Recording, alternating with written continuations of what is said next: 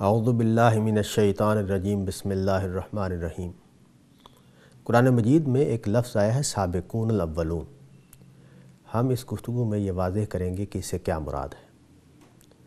दीन पर अमल करने में और दीन को इख्तियार करने में अल्लाह ताला ने लोगों को दो तर्जों में तकसीम किया है। कुरान मजीद में ये बयान हुआ है कि क़्यामत के दिन जब मुसलमान उठेंगे तो वो तीन ग्रोहों में तकसीम होंगे। एक ग्रोह को कुरान मजीद सबकून का ग्रोह कहता है और एक गिरोह को असहाब यमीन का गिरोह कहता है और एक गिरोह को इसहाब शिमाल का गिरोह कहता है। हम इस गुफ्तु में सबकून क्या है, कौन लोग होंगे, इसको वाजह करेंगे। सबकून से कुरान मजीद की मुराद ये है कि वो लोग जिन्होंने हक़ को कबूल करने में सबकत की और जिन्होंने हक़ की मदद करने में सबकत की और जिन्होंने दीन के तकाज़े पूरे करने में सबकत की, वो सबकून कहलाएँगे।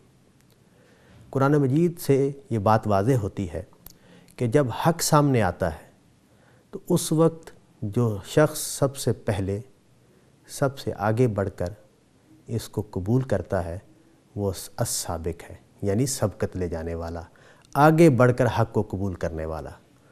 ये दर्जा जो है, ये नबी वसल्लम के ज़माने में जो सहाबा सबसे पहले ईमान लाने वाले थे, उनको हासिल हुआ। ये वो लोग थे जिन्होंने ना सिर्फ़ ये कि हक़ को कबूल किया, बल्कि हक़ को कबूल करने के बाद उसके लिए जो मुसीबतें उठानी पड़ी, उनको उठाया।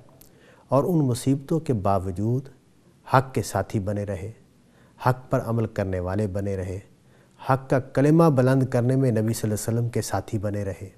तो ये वो लोग हैं जिनको कुरान मजीद ने असाबिक का लकब दिया है। कुरान मजीद ने मज़ीद ये बात बताई है कि ये वो लोग होंगे कि जिनको खुदा का तकर्रब हासिल होगा। कुरान मजीद कहता है कि उलायकल मुकर्रबून, ये वो लोग होंगे जिनको अल्लाह ताला अपना मुकर्रब बनाएँगे।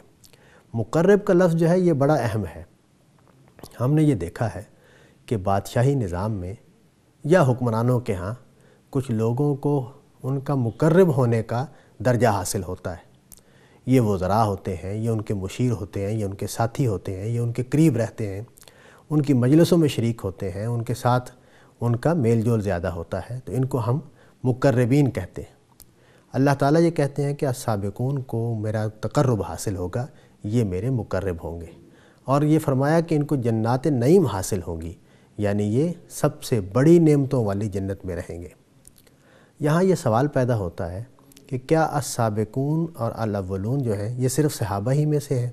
कुरान मजीद ने इसका भी जवाब दिया है कि नहीं, कलील गिरोह आज भी है जिनको हम असबकून अलावलून कह रहे हैं और कलील गिरोह आगे भी होगा। यानी हर ज़माने में, ये इसमें शुबा नहीं कि सहाबा के ज़माने में ये तादाद बहुत ज़्यादा थी। वो लोग बहुत ज़्यादा थे जिनको असबकून अलावलून का दर्जा हासिल हुआ। लेकिन बाद के ज़मानों में भी हर गिरोह में से कुछ लोग होंगे जिनको असबकून अव्वलून का दर्जा हासिल होगा और वो खुदा के मुकर्रब करार पाएँगे।